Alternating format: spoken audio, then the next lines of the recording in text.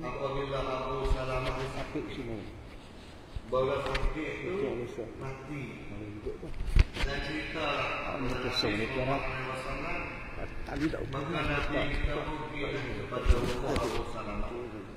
kita. Apabila Nabi kita pergi kepada Salamah Maka didapati ya, Mata Abu Salamah tu jadi Halo. Halo. Jadi apa ni kata lah. Apabila kamu Maka Nabi pun ambil kaki dia Ini tak. Dan Nabi tu Ini kaki dia Ah, lah. Maka Abu Salamah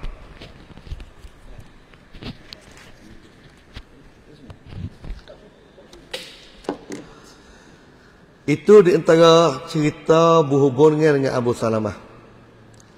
Kita tengok makna hadis an Ummi Salamah daripada Ummi Salamah radhiyallahu anha telah dia oleh Allah Taala. Qalat berkata ia ia Ummu Salamah. Dakhala Rasulullah sallallahu alaihi wasallam ala Abi Salamah. Telah masuklah oleh Rasulullah sallallahu alaihi wasallam ke rumah Abu Salamah di waktu Abu Salamah meninggal dunia. Wa qad syaqqa basaruhu dan sesungguhnya mata Abu Salamah tu jadi terbuka. Syaqqa makna terbuka, makna terkate, dekate mata Abu Salamah tu. Nah, lepas dia mati tu. Fa'aghmadahu maka menutuplah ia hu akan dia akan mata Abu, Abu, Abu, Abu Salamah tu. Maknanya Nabi tu pekuk mata Abu Salamah. Summa qala kama dia Nabi berkata. Inna ruha sesungguhnya roh. Iza kubida apabila dicabut. Tabi'ahu mengikuti dia, mengikuti roh tu al-basaru oleh mata. Jadi apabila manusia ni ataupun yang bernyawa ni apabila Allah Taala cabut roh ataupun Allah Taala perintah malaikat cabut roh maka mata tu tengok roh tengok susuk sehingga roh tu beradu sehingga roh tu pergi mati apabila dia cabut roh sehingga roh tu tubik tubuh dia maka mata itulah tu. Jadi kata sebab dia tengok roh tu Bukan mata kata sebab kata dia tu jadi karuk dia tak molek akibat bukan. Sebab apabila apabila Allah Taala cabut roh tu mata duk tengok roh tu. Sehingga apabila roh habis dalam tubuh dia apa? dia tak mampu nak pergi lah kerana dia roh yang habis dah tu. Pada jannasun maka berkatalah manusia dengan kata yang yang tak elaklah min ahlihi dari kalangan ahlinya. Jadi apabila tengok mata kate dan Nabi kita pergi sapu, pergi urut mata lah, pergi pekuk mata tu. Maka keluarga dia manusia yang ada dalam rumah Abu Salamah tu jadi kata-kata yang tidak sesuai lah, kata yang tak molek lah. Kata yang seolah-olah Abu Salamah ni tak baik lah. Faqala maka Nabi berkata, La tad'u ala anfusikum illa bi khairin. Janganlah kamu sekalian hidup minta doa di atas diri kamu. Jadi keluarga kamu lah Abu Salamah ni orang maknanya orang keluarga kamu orang dirimu lah. Mu jangan nak minta di atas dirimu ni illa bi khairin melainkan dengan benar baik. Jangan duk kata perkara-perkara yang tak molek. Siaplah jadi kena ready. Jadi kata benda tak molek tak boleh. Sebab apa? Fa innal malaikata yu'minuna ala ma taqulun. Kerana malaikat mengata amin apabila kamu berkata. Kerana malaikat dia kata amin atas perkataan kamu. Jadi kita ni kita kena minta, kena berdoa, kena kata terutama terhadap anak kita, terhadap keluarga kita jangan hidup kata, jangan hidup maki, jangan hidup silap mulut di atas perkara-perkara yang tak baik. Perkara-perkara tak molek. Sebab Malaikat apabila ya amin di atas kita nak kata benda tak malaikat itu Allah Taala mustajab. Karena malaikat ni tak pernah deraka kepada Allah Subhanahu wa taala. Summa qala kama dia Nabi berkata. Nabi berdoalah, Allahumma ghfir li Abi Salamah. Ya Allah, mu ampunlah kepada Abi Salamah. Ini doa Nabi Hajjah ni. Apabila kita pergi ziarah di rumah orang mati, inilah doa dia. Cuma saling nama lah. Allahumma ghfir li Abi Salamah warfa' darajatahu fil mahdiyin dan muangkatlah darajatnya darajat Abu Salamah tu fil mahdiyin dari kalangan orang yang dapat hidayah wa khluq wa khluqhu fi akibihi minal ghabirin dan menjadilah selamat ataupun gantilah dengan kelebihan yang baik orang orang yang hidup daripada keluarga daripada waris-waris Abu Salamah tu dari keluarganya Waghfir lana dan hendaklah engkau ampun dosa kami ni. Walahu dan dosanya dosa Abu Salamah.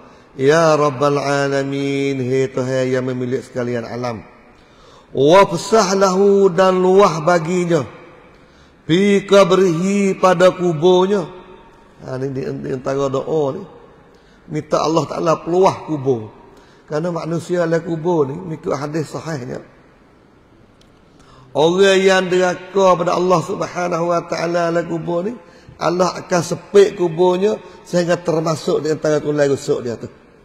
Adapun bagi orang yang dapat nikmat, orang yang beriman, Allah memperluahkan kubur dia sehingga dia nampak surga tempat dia nak gitu. Nah. Wafsah lahu fi qabrihi wa nawwir lahu fihi dan hendaklah engkau mewarnakan maknanya cahayakan nawir cerahkan lahu baginya fihi padanya pada kubur tu ini di antara hadis sahih yang diceritakan oleh iman muslim. Mari dak royak berhubungnya dengan masalah mati. Walaupun mari dak cerita ha mati umus abi salamah tapi kita kena kait dengan mati kita. Kerana kita setiap orang ni kena mati. Apabila mati seorang itu tidak siapa pun tahu kata dia dari kalangan ahli syurga dan di kalangan ahli neraka. Termasuk kita sendiri pun tak tahu di hari kita mati. Cuma ada beberapa alamat daripada alamat ahli syurga. Di antaranya orang yang mati dan dia dapat mengucap kalimah syahadah la ilaha illallah. Dia akhir dan kalimah syahadah maka dia tu dapat masuk surga Allah. Dan pula orang mati tu di dahi dia ni ada pelau sikit-sikit, maka itu di antara alamat ahli syurga. Dan ada setengah kitab tu royak ada tujuh, ada setengah riwayat tu lapan dan sebagainya. Nanti kita baca hadis dia. Dan sebahagian itu pula orang mati syahid fi sabilillah ahli syurga. Orang yang mati malam Jumaat ataupun pagi Jumaat itu sebahagian ulama juga mengatakan dia dari kalangan ahli syurga. Sebab Allah Taala wilpah azab kubur. Orang lepas azab kubur ni orang lepas daripada api neraka insya-Allah. Tapi kita nak pergi nak pergi fantung nak pergi nak, nak nak cerak tu tak boleh lah. Cuma itu sebagai alamat akhirat esok lah boleh tahu.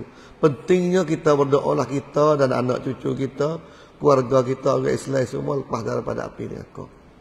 Dan di waktu mati itu sangat sakit. Sakit yang tak kuasa nak takbir perasaan sakit ni. Hanya ada hadis Nabi mai. Nabi kata aku sakit. Ayah ni sakit. Dan sakit ni tidak ada sakit dah lepas ni. Fatimah nak dengar hari Nabi raya sakit. Dan Nabi ajar masalah sakit pada kita ni dengan kita berdoa Allahumma inni ala sakaratil maut. Ya Allah tolonglah aku ni sakaratul maut di waktu sakit mati. Sakit yang kita nak pergi takbir nak kaya lah mana? Kalau lah seputung jarum seputung paku lekat dalam perut kita heret sekali guh tu baik ke mulut. Berasa mana sakit kita? Ni roh daripada kaki sampai di kepala heret melalui dua lubang. Lubang hidung dengan lubang, lubang mulut. Heret melawan. Sakit perasaan sakit. Tapi sakit perasaan, perasaan sakit ni boleh meledakan sakit apabila Allah Ta'ala ni we tengok tempat kita nak pergi bagi orang beriman tengok syurga. Tengok nikmat-nikmat dia tu dia berasa hingga. Tapi diri sakit sepatu. Supaya orang beranak sakit tu. Dia tidak hilang sakit dia. Tapi gembira boleh tengok. Boleh kerana tengok anak. Tapi diri sakit ada ada. Maka semulia-mulia mati-mati syahid fi sabilillah. Maka sakit mati ni kita kena persiapkan di hari ni lah. Persiapkan kita melalui doa. Doa dengan Allah subhanahu wa ta'ala. Allahumma a'inni ala sakaratil maut.